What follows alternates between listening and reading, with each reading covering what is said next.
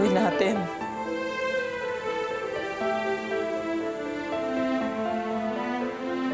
Ipalalaglag natin ang dinadalang Diana. Hindi ko hahayaang magkaroon ka ng anak sa pangit na yan.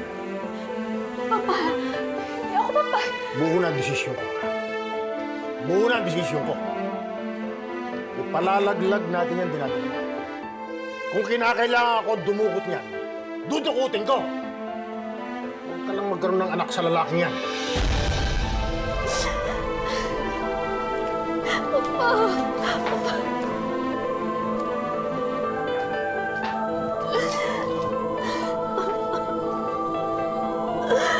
Tulungan mo ako. Ayoko ipanaglag ang anak ko.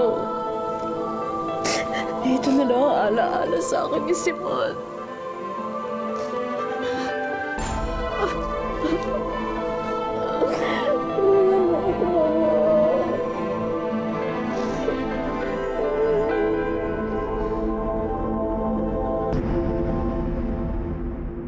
Ano? Opo. Nako, desidido talaga silang ipalaglag yung dinadala ni Senyorita Diana. Eh, paano naman ho? Eh, sobrang mangkiri niya si Senyorita Diana.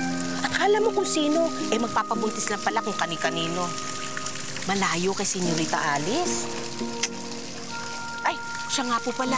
Eh, pupuntahan ko pa pala si Piriang Albularia. Ano po, diyan muna kayo, ha? Ayoko, hindi ko na kaya. Pero ikaw lang may kayang gumawa nun. Hindi ba, ikaw nagbigay kay Isabel ng gamot kaya siya dinugo at nalaglag yung dinadala niya? Noon yon, hindi na ngayon. May anak na ako. Ipinangako ko sa sarili ko na hindi na ako maglalaglag ng mga bata. Handang magbayad ng malaki si Don Joaquin. Kahit na, aanin ko ang pera kung magkakasala naman ako. Sabihin mo kay Don Joaquin, dalhin sa doktor si Diana. Eh kung magalit si Don Joaquin at paalisin kayo sa lupang ito, Kaya kong tumira sa bundok kahit saan. Huwag lang akong magkasala.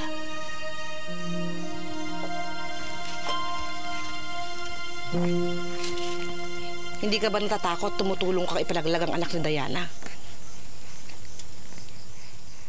sinusunod ko lang ang utos ni Senyor.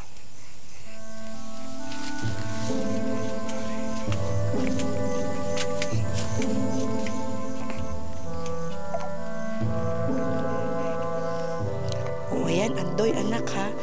Ang bait niya ng nanay, di ba? Naku! ang gwapo-gwapo mo. Ano ba ang pinagmamalaki niya? Sabihin mo sa kanya, lumayas sa lupain ko. Sinabi ko na yun eh, pero ayaw niya po talaga.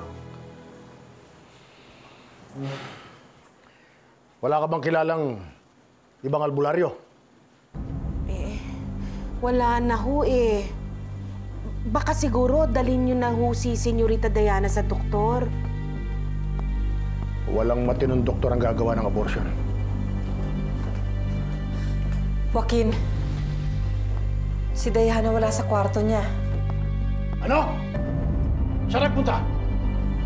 Sabi ng katulong, tinakas daw ni Dominic.